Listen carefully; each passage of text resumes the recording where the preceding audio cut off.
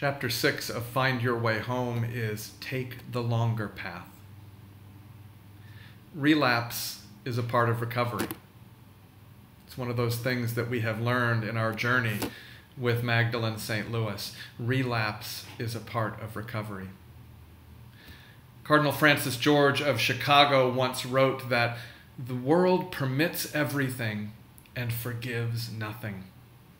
In contrast, he wrote, God and the church do not permit everything, but forgive everything.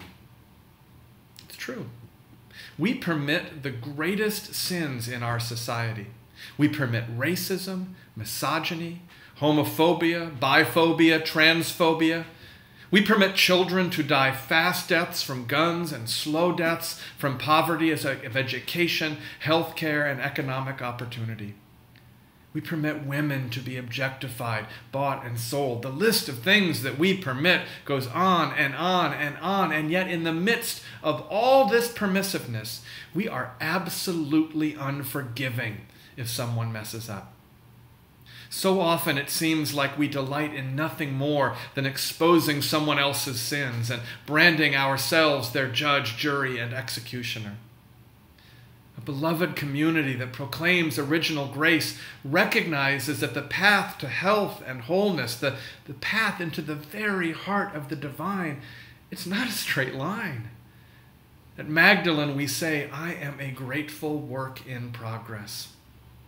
Any addict knows, and, and we are all addicted to something in this addicted society in which we live. Any addict knows that relapse is a part of recovery. At Magdalene St. Louis, we just welcomed back our first woman who had left the program and now has come back. It's because part of being a sister for life is knowing that the sisterhood is always there, always ready to welcome back a sister who has relapsed. But she has to be willing to submit herself to the rule of the community, to the bonds of love with which we hold one another. Bonds that do not permit everything, but bonds which absolutely forgive everything. Taking the longer path is hard.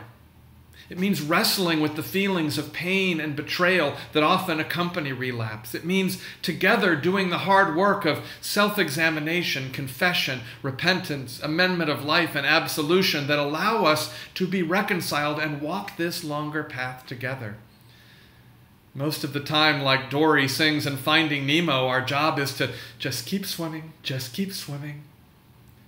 Or as this chapter reminds us, the journey is slow and miraculous, and our job is just to keep going, respecting love's power.